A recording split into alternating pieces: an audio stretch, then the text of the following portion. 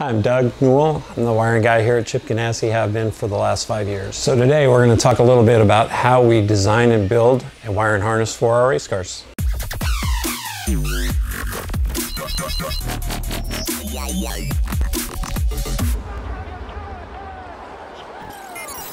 From a high level overview, I just take care of all the wiring, uh, whether I'm maintaining it or building it. Uh, it just depends on the day. So today we're going to talk about a wiring harness, which I just actually finished this one yesterday. This will be the interior harness of our new car. So to build this, we have to pick a starting point, and that'll be here. And this is where all the switch panel and all the switches and everything that controls the car actually input into it.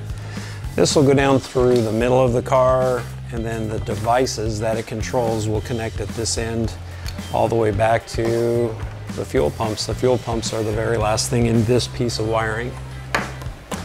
To build these, we have to design it, we have to figure out what the loads are so we know what size wire to run.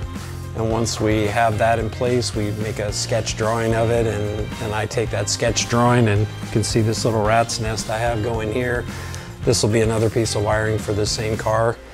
And eventually, hopefully, this will look as nice as this one looks, but it'll do its job.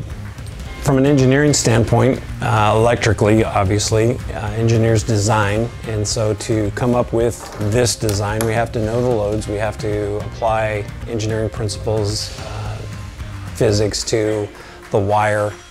We need this thing to run for forever, really, but it has to last 500 miles can't have this thing failing in the middle of a race, so we have to properly size wire, proper lengths, everything has to work the way it's designed to do.